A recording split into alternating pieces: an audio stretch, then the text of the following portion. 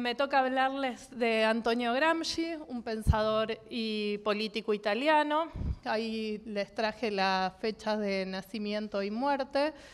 Eh, es un pensador que nació en la isla del sur de Cerdeña en 1891 y que comienza sus reflexiones políticas tempranamente eh, hacia 1910 empieza a colaborar en los em, periódicos del Partido Socialista, en El Grito del Pueblo, en Avanti. Y eh, esto es paralelo a su formación en filosofía, en la filosofía de Croce y Gentile, que son los filósofos del idealismo italiano. Es un pensador inscripto en el pensamiento marxista, y entonces, como ya también estamos llegando al final del curso, ya tuvieron muchas clases, eh, me interesaba reponer rápidamente qué es esto de que es un pensador marxista. Es un pensador que está pensando la política lejos del naturalismo, crítico del naturalismo y del contrato social. Dos doctrinas que ustedes vieron o dos construcciones de la política que ustedes vieron para pensadores como Hobbes, Kant, Locke, que ustedes vieron, a la pregunta de cómo se construye el poder político, empezaban por contestar con esta teoría naturalista que decía los hombres son libres e iguales por naturaleza y ante esa igualdad y libertad, sin embargo, obedecen al poder político de un Estado. ¿Qué pasó en el medio para que estos pensadores, para que estos hombres y mujeres libres e iguales se sometan al control o se sometan a un orden que los convierte en desiguales ante un gobierno. Lo que pasó para pensadores como Hobbes, Locke, Rousseau también y Kant es el contrato social. Para algunos una ficción, lo que pasa es que estos hombres libres e iguales deciden ceder parte de su libertad y de su igualdad para tener garantías. En el caso de Hobbes, la garantía es ante la, mm, eh, ante la vida, porque en este estado de naturaleza fuera del Estado los hombres se convierten en lobos, eh, lobos del hombre. Para un pensador como Locke, el contrato social, o sea, se acepta la desigualdad eh, ante el Estado, ante el gobierno, porque mm, para proteger la propiedad privada, para garantizar un Estado que va a ser no solo vigilante nocturno, como en el caso de Hobbes, sino también garante de la propiedad privada. Y, también vieron el caso de Kant. También vieron que con eh, em, Rousseau aparecían las críticas sistemáticas en el segundo discurso acerca de la desigualdad entre los hombres, a estas concepciones del contrato social, porque lo que nos mostraba Rousseau, primero de todo, era que el, estado de naturaleza tenía un desarrollo histórico, estos hombres libres e iguales en un momento dejaron de ser libres e iguales, entonces Rousseau aceptaba el naturalismo para pensar la política, aceptaba la igualdad y la libertad natural, pero que en un desarrollo histórico esa... Eh, libertad e igualdad se iba em, eh, eh, distanciándose.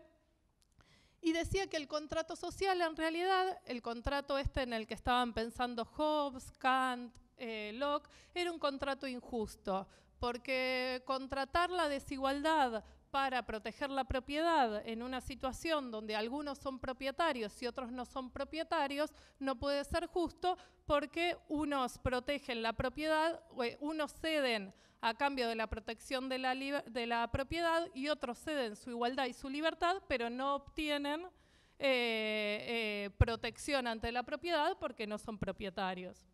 Entonces, esta primera crítica a la ilegitimidad del contrato social para pensar el orden de las sociedades modernas va a ser retomada por la tradición marxista.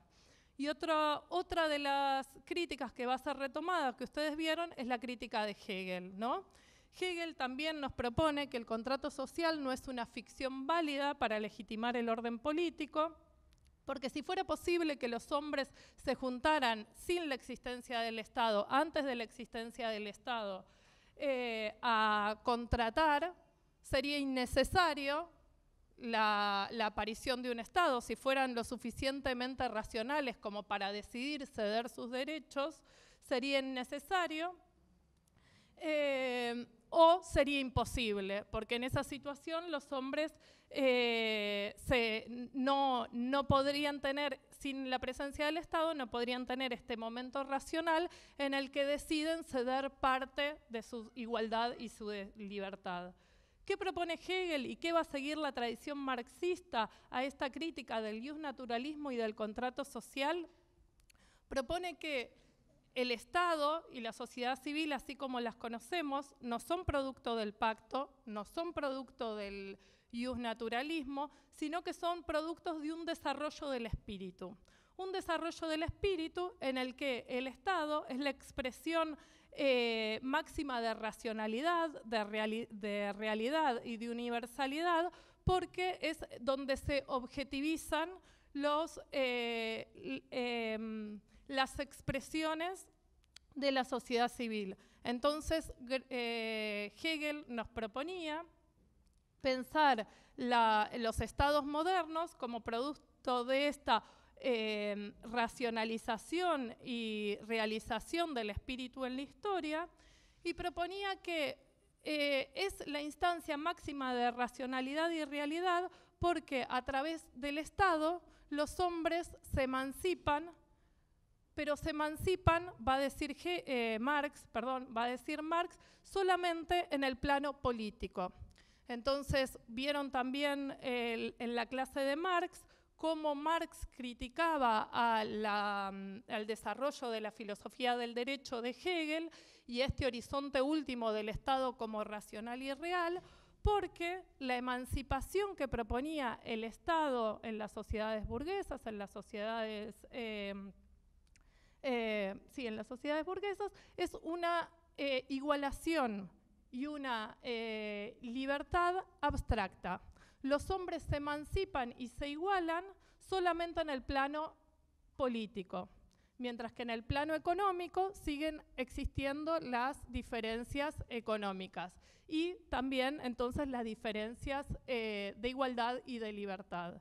Entonces lo que vieron es que en esta crítica del derecho que hacía Marx, lo que Marx proponía era dar vuelta a esa dialéctica y mostrar de que eh, la posibilidad de un régimen político emancipatorio para los hombres suponía no solo una emancipación política ante el Estado, que es algo que como una realidad externa a los hombres, donde los hombres se igualan a partir de esta mediación abstracta, lo que proponía es la necesidad de una emancipación política. Y, perdón, una emancipación de la humanidad toda. Para esa emancipación de la humanidad toda era necesario eh, disolver la mediación abstracta del Estado y también la mediación abstracta del mercado, como decían, eh, eh, también la igualdad económica. Para acceder a eso, para acceder a una emancipación humana, lo que proponía Marx era que que es necesario que los hombres se piensen como libres e iguales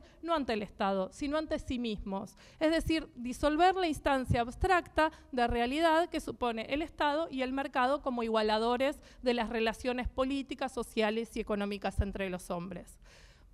Gramsci va a partir entonces de una concepción marxista de la sociedad en la que reconoce la necesidad de superar la mediación abstracta del Estado porque no produce igualdad y libertad entre los hombres, y los hombres no nacen libres e iguales por naturaleza, sino que en un producto de desarrollo histórico. Y eh, va a proponer también una instancia de disolución del mercado. Entonces, la, ah, la primera cita que les quería traer es esta, en la que cuestiona esta teoría naturalista de que los hombres por naturaleza son libres e iguales. Esta es una cita de uno de los eh, cuadernos de la cárcel que fue editado en una primera edición como eh, el materialismo histórico y la filosofía de Benedetto Croce. Y en esta cita Gramsci nos dice que la naturaleza humana es un complejo de relaciones. Es decir, siguiendo esta tradición marxista donde el hombre está identificado con la lucha de clases, con la inserción no solo en la política, sino también en la economía, piensa que los hombres se constituyen no a partir de, eh, pensemos lo que las citas anteriores, lo que hace Gramsci es, es, poner en cuestión esto de que el hombre es el animal político, el hombre es eh, el eh, capaz de logos, y lo que propone es que la naturaleza humana es un complejo de relaciones. Es decir, la naturaleza humana es no tener naturaleza, porque si había algo estático, determinado, que venía con todos los hombres, que para la tradición contractualista era libertad e igualdad, acá queda disuelto en el devenir de la historia, ¿no? Porque ser humano, ser eh, hombre, significa estar adentro del devenir estar adentro de la historia. Y el devenir historia quiere decir que estamos constantemente cambiando. Entonces no se puede hablar de un hombre en general, pero sin embargo se puede hablar de la humanidad, de los hombres. ¿Qué hace entonces? Va a pensar la esencia humana inscripta en la historia como toda la tradición marxista, pero vamos a ver que el marxismo de Gramsci tiene como peculiaridad, como novedad, darle una atención fuerte a la dimensión política a partir de la, palabra que está creo que más asociada al pensamiento político de Gramsci, que es la teoría general de la, hegemonía, que es la novedad que viene a traer Gramsci a la filosofía política. ¿no? Pensar no solo que los hombres están insertos en relaciones sociales, que no tienen una esencia determinada, entonces hay que hacer un análisis histórico, ese análisis histórico tiene que ver con la lucha de clases, como viene diciendo la tradición marxista, tiene que ver con que las mediaciones del Estado y del mercado son mediaciones abstractas y para el desarrollo pleno del hombre se necesita una sociedad sin Estado y una sociedad sin mercado, en la que los eh, hombres y mujeres se reconozcan entre sí sin mediaciones abstractas. Y la novedad que va a proponer a todo este, a esta tradición marxista es darle un análisis detenido a las dimensiones culturales y, y políticas. Y ahora vamos a ver por qué. Avanzo un poco en esto que les decía que Gramsci fue formado en la tradición del idealismo filosófico durante la década del 10 con los filósofos eh, Croce y Gentile de Italia, que son filósofos que se están oponiendo al marxismo determinista, cientificista de Loria. Em, ¿Qué quiere decir esto? Son filósofos que van a destacar el momento de la libertad y de la subjetividad humana. Entonces, si Gramsci va a ser marxista y va a darle peso al análisis de las relaciones económicas entre los modos de producción, las fuerzas productivas y las clases sociales que se oponen en esos, que se enfrentan en esa lucha entre los modos de producción y las fuerzas productivas, Gramsci va a agregar a eso la eh, imposibilidad de no dejar de reconocer, es decir, el énfasis en que la acción de los hombres es voluntaria, de que la acción de los hombres es libre. Hay una dimensión económica determinada por fuerzas que exceden a los hombres, estas relaciones sociales, pero esas relaciones no, nunca, se, nunca subsumen, nunca anulan la acción revolucionaria, la acción voluntaria, la acción humana. Y ahí es entonces donde Gramsci retoma las filosofías idealistas que le dan un peso fuerte a la subjetividad, pero también retoma la tradición marxista de análisis económico o análisis sistemático de las fuerzas productivas. ¿Qué pasa en la vida de Gramsci? Un momento eh, entre 1911 y 1915 sale de Cerdeña para estudiar en la Universidad de Turín filología. Ahí es, esto que les contaba que se interesa por las expresiones de la cultura, por el lenguaje. Empieza a colaborar, eh, ya empieza a colaborar con los periódicos del Partido Socialista, y hacia 1917 tenemos la Revolución Rusa, un movimiento que conmueve a la tradición marxista, pero también a todas las tradiciones de pensamiento y de acción política. ¿Por qué? A la tradición marxista sobre todo, porque según las teorías mecanicistas, las teorías cientificistas deterministas de la economía, se suponía que una revolución emancipatoria, proletaria, solo podía darse en sociedades donde los modos de producción estén impulsados por el desarrollo de fuerzas productivas. Eso quiere decir que en sociedades en donde se haya pasado de un modelo económico feudal a un modelo industrial como Inglaterra, eran sociedades donde se estaba más cerca de la posibilidad de que este nuevo sujeto político, que es el proletariado, encabece una revolución en la que se reconfigure la economía y la política en esta tendencia que les contaba, que era a la eliminación del mercado y a la eliminación del Estado.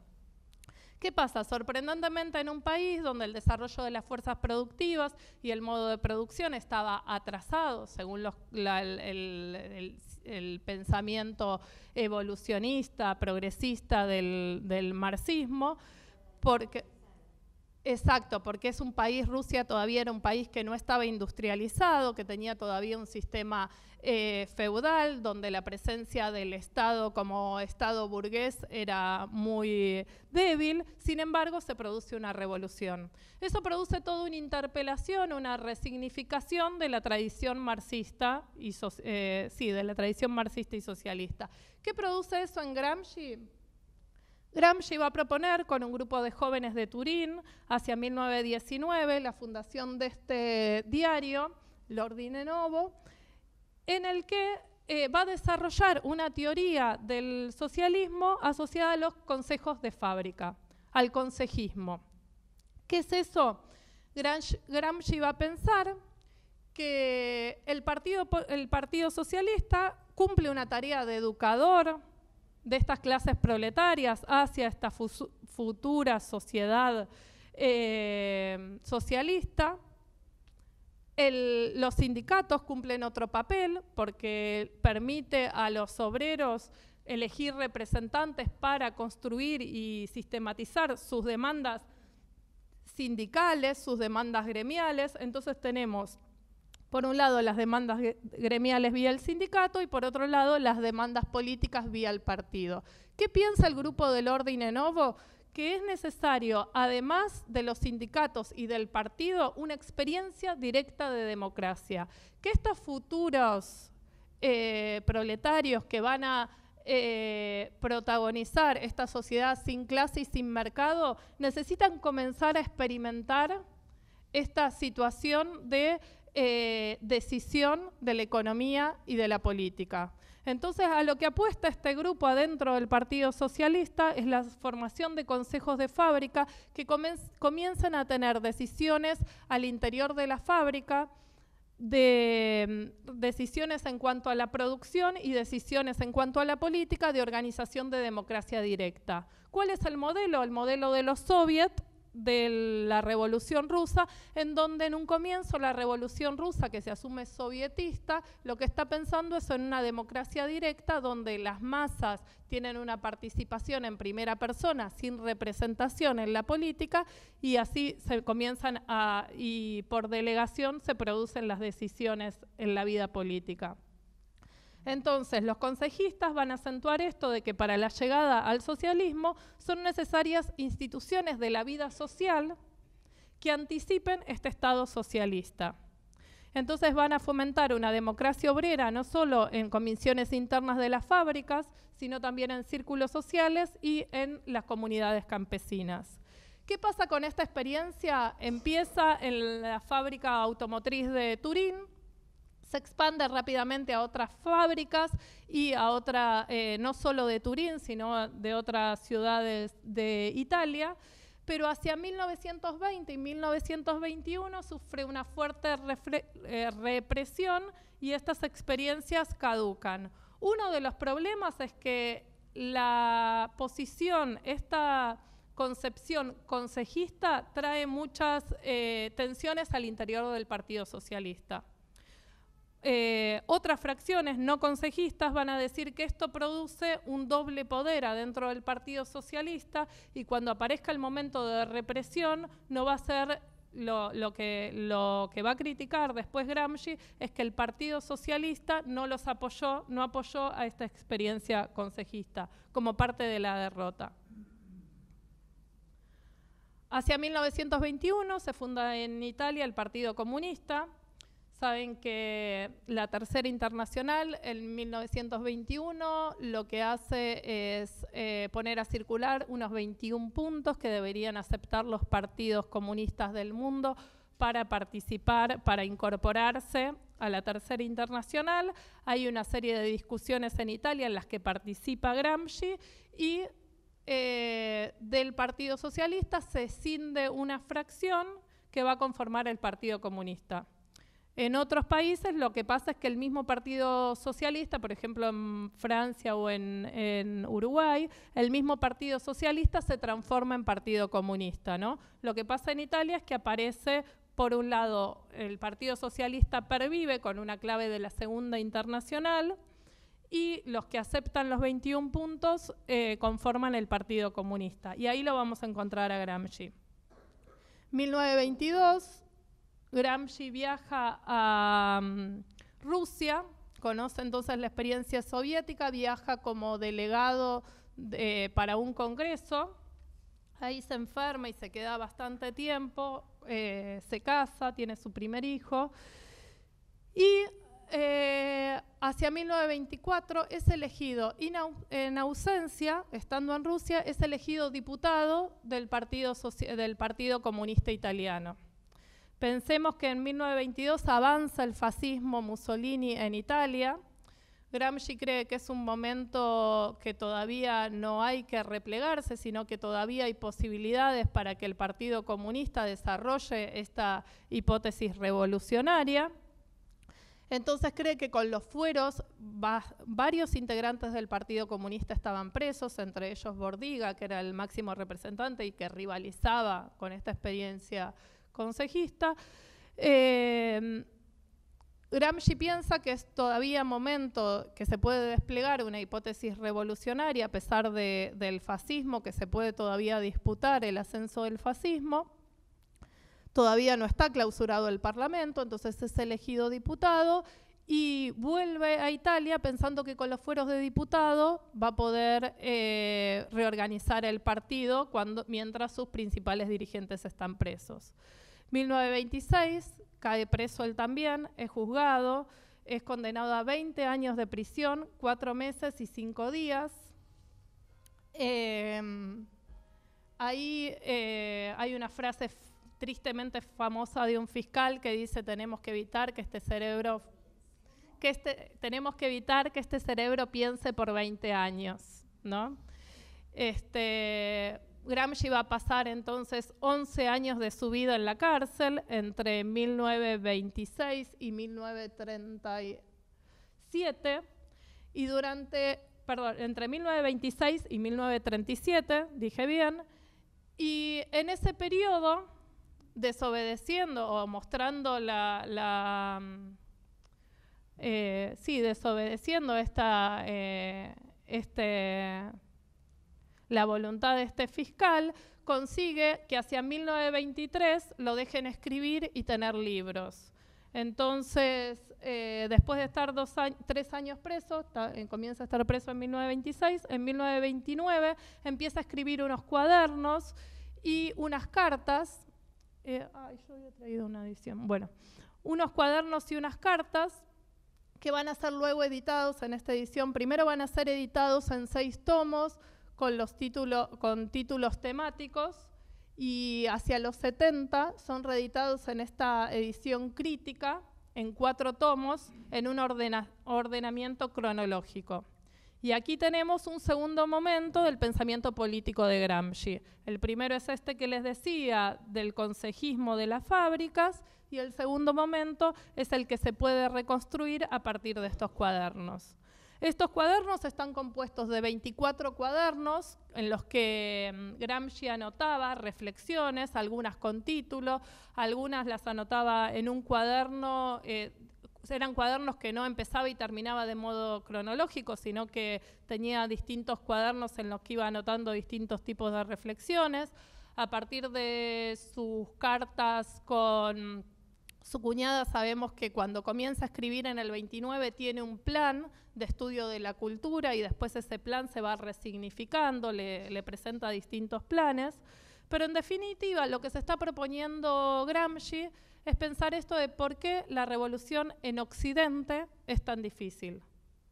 ¿Por qué pensábamos que en Inglaterra se iba a dar la revolución por el desarrollo de las fuerzas económicas, que iban a empujar a una revolución política y social, y eso no se dio en Occidente, sino que se dio en Oriente, y cuando lo intentamos en Occidente, cuando lo intentó el Partido Comunista en Italia, cuando lo intentaron en, Alemania los espartaquistas, cuando se intentó la expansión del bolchevismo en Europa, en Hungría también, todas esas experiencias hacia 1929 están derrotadas. Entonces la gran pregunta de los cuadernos de la cárcel es qué tipo de organización producen los estados capitalistas modernos, los estados burgueses, que tornan más difícil una revolución socialista, una emancipación, lo que les contaba al comienzo, una emancipación humana que disuelva al Estado y que disuelva al mercado. Em,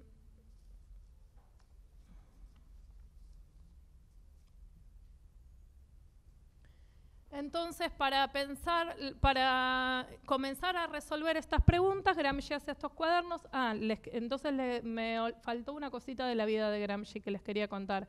Entonces, entre el 29 y el 25 eh, escribe estos cuadernos y entre el 25 y el 37, que continúa preso, porque como les contaba va a estar preso hasta el 37, 11 años, en condiciones eh, terribles, eh, sufriendo enfermedades, envenenamiento, eh, también sufriendo la censura. Conocemos estos cuadernos, pero estos cuadernos eran censurados y las cartas también. Entonces parte del nuevo vocabulario político de Gramsci tiene que ver con que tenía, no podía decir ciertas palabras porque eh, eran tachadas. Eh, entonces pasa entre el 29 y el 35 en las cárceles y entre el 35 y el 37 está internado. Está primero internado la eh, está internado, perdón, en dos clínicas y de esas dos clínicas tenemos 12 cuadernos más.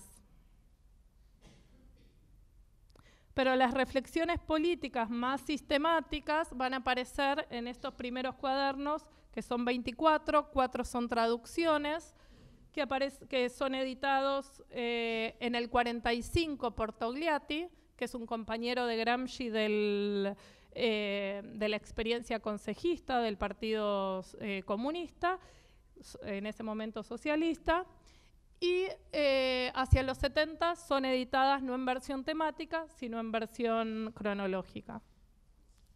¿Qué empiezan a pensar estos cuadernos? Algo que yo ya les anticipaba. la primera cita es parte de Escritos de Juventud, 1918, donde está tratando ya en 1918 de explicar qué novedades introduce que haya habido una revolución socialista, una revolución obrera en un país como Rusia. Entonces, eh, en un artículo que publica en el periódico Avanti, dice que entre las premisas, la estructura económica y la consecuencia, la constitución política, las relaciones distan mucho de ser simples y directas y la historia de un pueblo no se puede documentar solo por los hechos económicos. ¿Qué quiere decir esto? Para la tradición marxista, como les anticipaba, la historia se explica no por la naturaleza de los hombres, sino por las relaciones sociales, y esas relaciones sociales están mediadas por clases. Y esas clases responden a una estructura económica. Entonces el marxismo vulgar con el que Gramsci estaba discutiendo y se estaba formando es un marxismo economicista donde reduce el desarrollo de la historia a las relaciones económicas y donde la política aparece como una consecuencia, como un epifenómeno, como un reflejo. Entonces, no quiere decir esto que todo el pensamiento de Marx sea un pensamiento economicista, sino que el marxismo con el que discute Gramsci hacia comienzos del siglo XX sí es un marxismo economicista y determinista o mecanicista. Entonces, lo primero que, se destaca en este pensamiento ya consejista y luego en los cuadernos es que Gramsci va a poner en cuestión que la economía aparezca como la base, como la premisa de relaciones políticas que parecen subsidiarias, que parecen mera falsa conciencia dirigida a legitimar un orden económico, que no tiene un peso propio.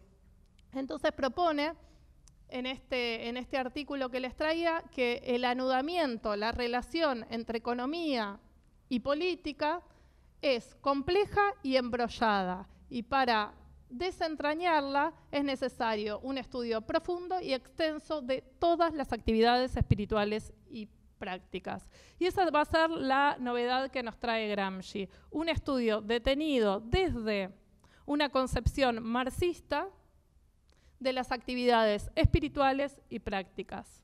Por eso les decía que no es un dato menor que esté formado en las filosofías idealistas y que esté formado en filología moderna, porque ya tiene una formación en la que le da peso no solo a la economía, sino también a otras expresiones.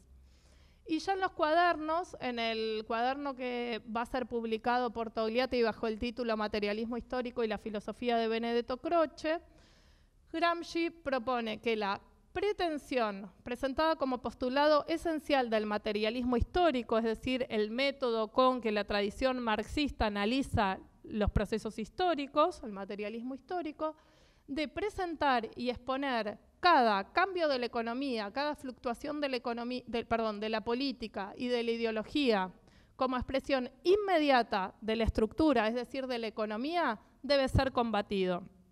¿Qué quiere decir esto? Que Gramsci nuevamente nos está diciendo, como lo había dicho en el 18, que la política no cambia solo por movimientos de las fuerzas económicas, no cambia solo por luchas que, se dan en el plano de la economía. Y debe ser combatida teóricamente como una visión infantil, primitiva, que hay que reelaborar, que hay que complejizar, que hay que hacer un estudio, decía 10 años antes, profundo y extenso, y que prácticamente, que en el plano de las obras marxistas, las obras de Marx como el 18 Brumario, nos dan testimonios, como los análisis de los procesos históricos que nos ofrecen las obras de Marx, ya nos, nos muestran de que en el mismo Marx existe esta concepción de que la economía no es la base y la política es una mera superestructura. Hay algo más en la política. Y ese algo más en la política es lo que le va a permitir explicar a Gramsci por qué la revolución se pudo dar en Oriente y no se puede dar en Occidente. Y a eso se dedican estos cuadernos. Entonces, esto es lo que, lo que quería desarrollar en, este, en esta segunda parte. Para tratar de reemplazar esta concepción que subsume las expresiones culturales y políticas a mero reflejo, donde lo importante es la economía, lo primero que hace Gramsci es proponer en los cuadernos la unificación entre estructural, inmanente entre economía, política y filosofía. En lugar de pensar en un edificio donde la economía es la base y la cultura y las formas jurídicas son la construcción que se hace solamente para justificar relaciones de explotación injustas, lo que propone es que hay que pensar un correlato, un paralelismo, una traducibilidad entre la dimensión económica, la dimensión política y la dimensión filosófica.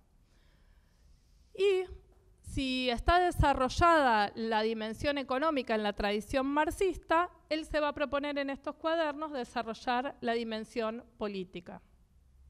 Entonces, eh, ante los análisis de la sociedad civil y, el Estado que proponía el marxismo, Gramsci va, a dedicar muchos fragmentos de los cuadernos a desarrollar esta dimensión política en la que lo que aparece es una relación de identidad, pero con distinción entre la expresión civil de la sociedad y la expresión política de la sociedad. Entonces, rápidamente, ¿por qué eh, la revolución socialista no se pudo dar en Occidente?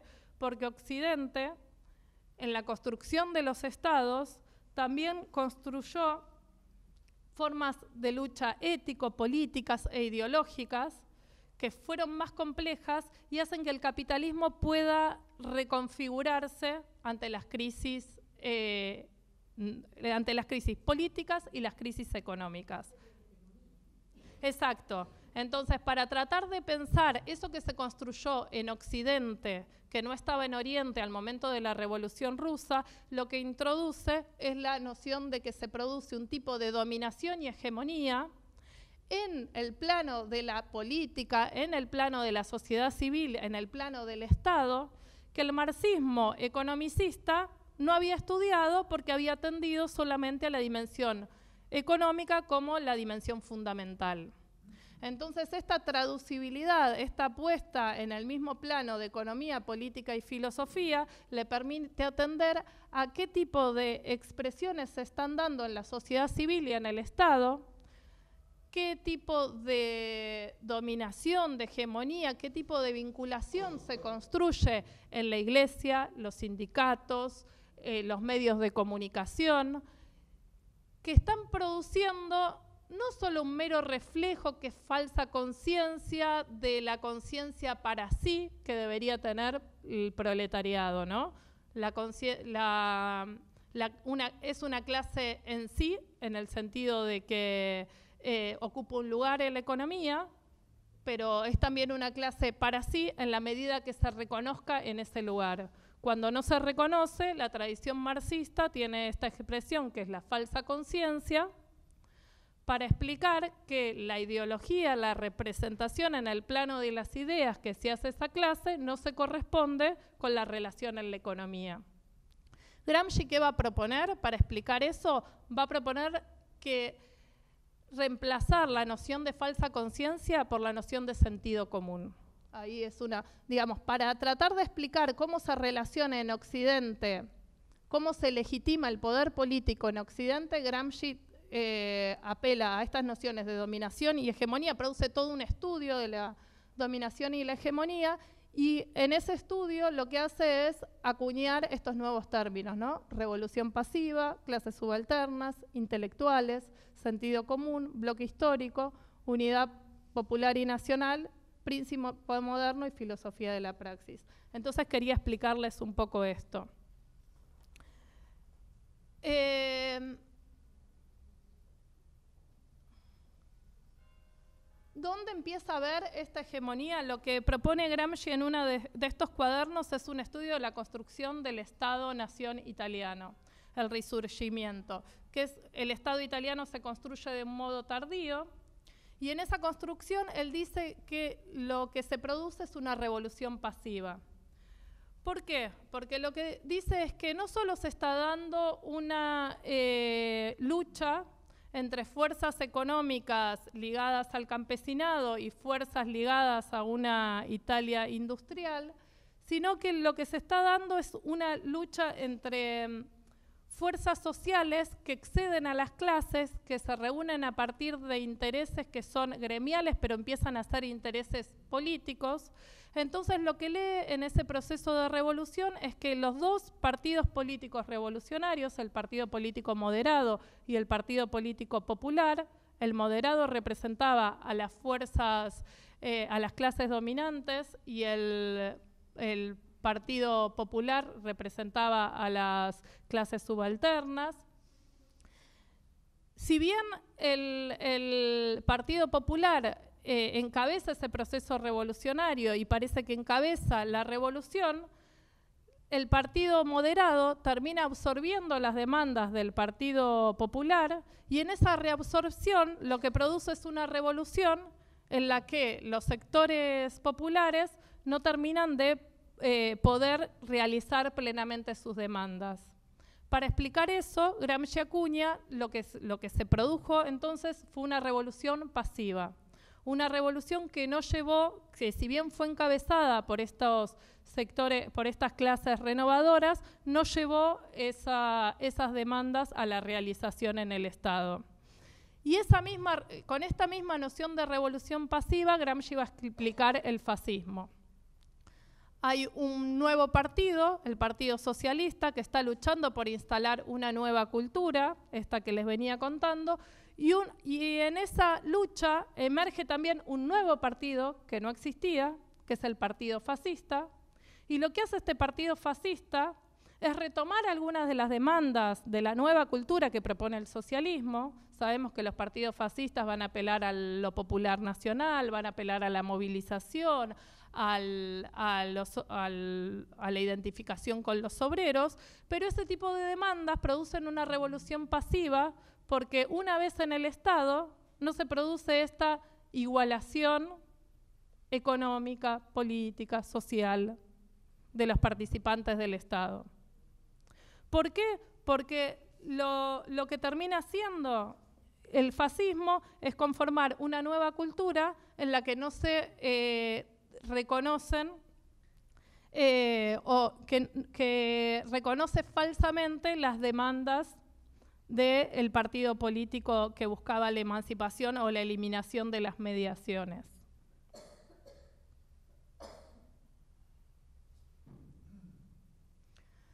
Bien, entonces, em, en la construcción de todo este, de esta dinámica política que sin independizarse de la dinámica, económica tiene em, un devenir que no es determinado por la economía, sino que es determinado por la formación de grupos libres, Gramsci produce toda una reflexión sobre los intelectuales que también es novedosa para la tradición marxista.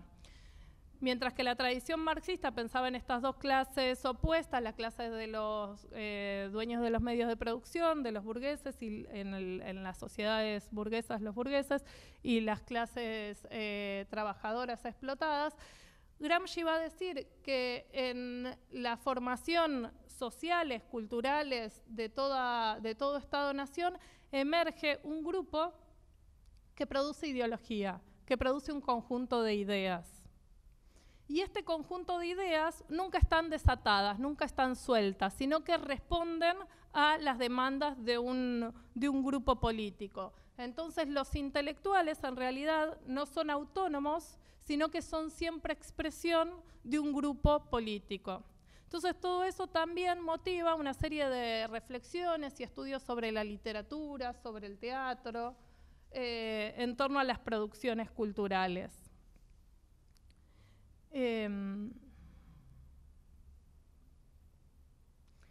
y lo que le interesa a Gramsci en esto de, de que ya les anticipé, que es reemplazar la noción de falsa conciencia de una ideología que no, fomenta la, la, demanda de igualdad entre los hombres, reemplaza la noción de falsa conciencia por la noción de sentido común. ¿Qué quiere decir esto? Que no solo todos los hombres somos filósofos, hombres y mujeres somos filósofos y filósofas porque tenemos un sistema de ideas, sino que hay ciertos sistemas de ideas que en, una, en un bloque histórico, en una determinada situación económica, política y filosófica, eh, funcionan como cemento social, funcionan como eh, eh, produciendo lazos entre los hombres. Cuando los lazos tenían que ser la instancia sin mediación, la mediación que aparece en las sociedades occidentales eh, burguesas es la mediación del sentido común. ¿Qué produce este sentido común? Una serie de ideas que son incoherentes, descontinuas, episódicas, fragmentarias, pero que sí hay que estudiar, que sí son importantes, porque son las que producen la hegemonía, son parte de esta dominación y de esta hegemonía. Son las que posibilitan que en el plano de la política un, régimen político perviva.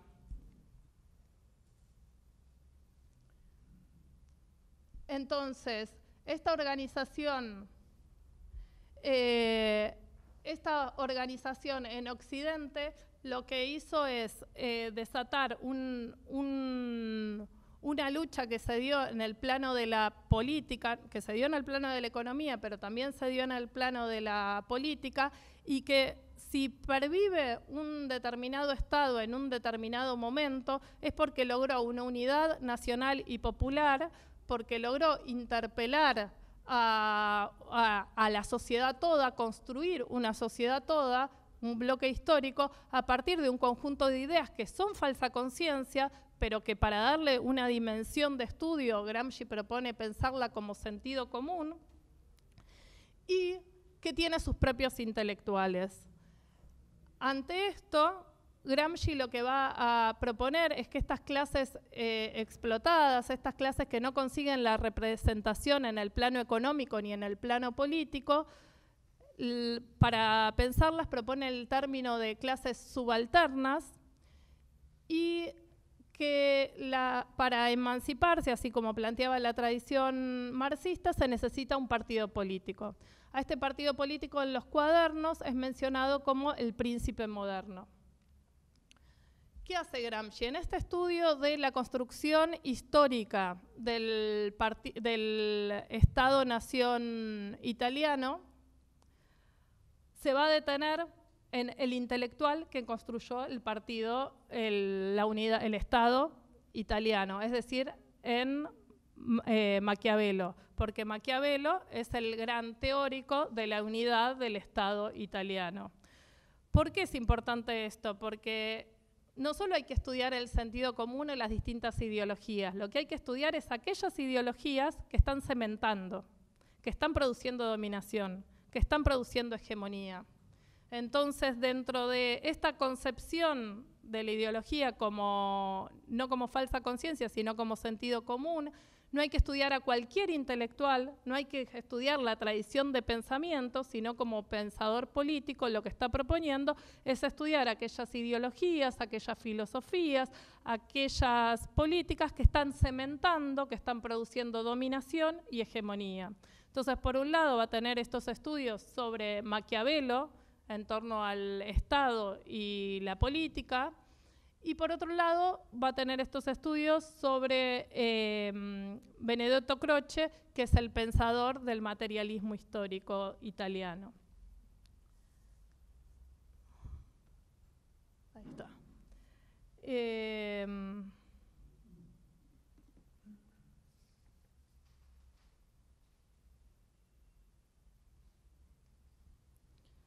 bien.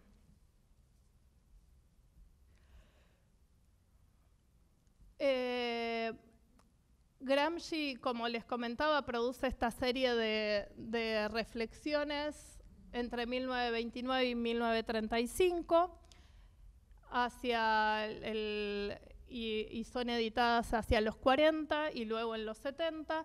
Y estas recién son editadas entonces en 1945 y donde van a tener más productividad el marxismo de Gramsci va a ser hacia los años 70, porque por un lado toda la corriente de eurocomunismo en, en Europa va a proponer que el estudio de la cultura italiana y en general de la, de la dimensión política, cultural del marxismo que propone Gramsci, permite eh, construir, eh, construir un partido político que en el marco de las democracias burguesas, desatado de la posibilidad de una dictadura del, de una dictadura del proletariado, desatado de la posibilidad de una revolución socialista y de un, régimen eh, comunista, permita participar a los partidos políticos en las demandas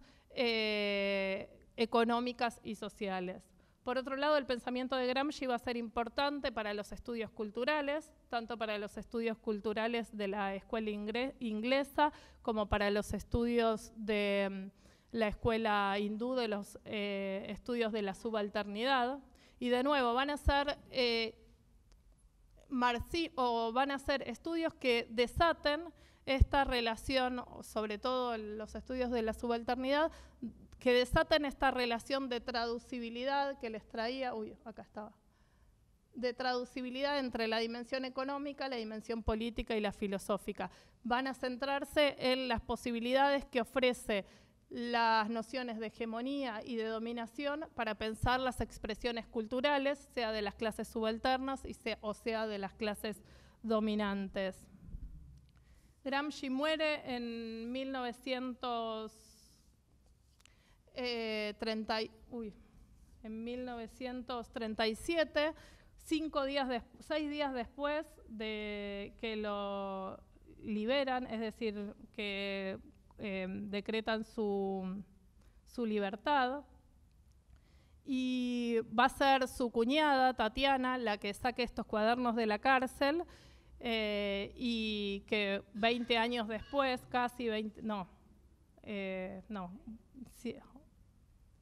casi 10 años después, los publique y recién en los 70, cuando haya otras ediciones críticas, empiece a, tener una visibilidad y una eh, productividad para los estudios del, marxismo. Bueno, abrimos entonces ahora a comentarios.